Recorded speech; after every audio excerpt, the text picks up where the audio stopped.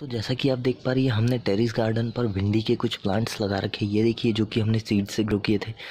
तो दोस्तों, आपको करना यह है कि भिंडी के आपके जो प्लांट जैसे ही पाँच से दस इंच के हो जाएँगे, आपको करना यह है कि इनकी ये जो लीफ है, ये देखिए, ये जो आपको लीफ नज़र आ रही, इनको आपको कट कर देना है। इससे होगा ये दोस्तों कि आपको कुछ दिन के बाद में ही जो है जहाँ से आपने लीफ को कट किया है, वहाँ से आपको काफ़ी सारी जो है ब्रांचेस देखने को मिलेगी।